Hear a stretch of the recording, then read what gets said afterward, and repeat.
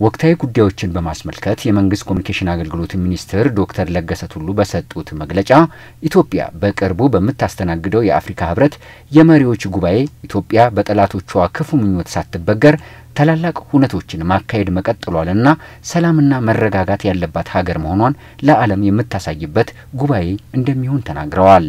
የፊታችን የሚከበረው የአፍሪካ መሪዎች ጉባኤም ይጠብቀናል። ከፊት ለፊታችን የህዝቦቿን ዘላቂ ሰላም ጥቅም መረጋጋትን ለድርድር የማታቀርበው ኢትዮጵያ የቀጣዩን የብልጽግና ጉዞ እውን መሆን ከፊት ለፊቷ እያየች ታላቅ ዓለም አቀፋዊ ክንውኖችን ለማስተናገድ ዛሬም ሩጫ ላይ ትገኛለች።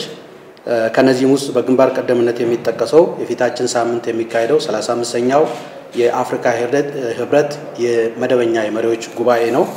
እንደ ሟርተኞቹ ሳይሆን የራሷን ችግሮች በራሷ ልጆች ፈታ አንድነቷን ጠብቃ የቀጠለች ሀገር መሆኗን የኢትዮጵያን ሰላምና መረጋጋት ለመላው ዓለም የምናሳይበት ጉባኤ ይሆናል።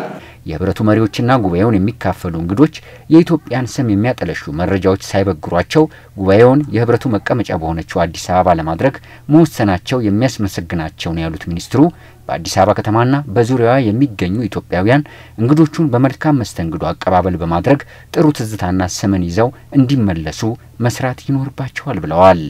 መላው የሀገራችን ህዝቦች በተለይም ደግሞ የአዲስ አበባ ከተማ ነዋሪ በአዲስ አበባ ዙሪያ የሚገኙ የኦሮሚያ ልዩ ዞኖች ከተማ ነዋሪዎች፣ በተለያዩ አካባቢ የሚገኙ የቱሪዝም መስህብ ቦታዎች የሚኖረው የህብረተሰብ ክፍል፣ የአገልግሎት ሰጪ ተቋማት፣ የጉባኤው ተሳታፊዎች ደህንነታቸው ደህንነት የተሰማቸው እንዲሆን በጎ በየአካባቢው በቱሪዝም መስህብ ቦታዎችም ይሁን በየሚንቀሳቀሱባቸው አካባቢዎች በጎ ትዝታን ጥሎ እንዲሄዱ ተሳታፊዎች ቤታቸው አገራቸው ያሉ እስኪመስላቸው ድረስ የአገሪቱን የየሀገሪቱን ባህሎች፣ ወጎች፣ ስርዓቶች የጠበቀ የእንግዳ አቀባበል ስነ ምግባር እንድናሳይ መንግስት ጥሪ ያቀርባል።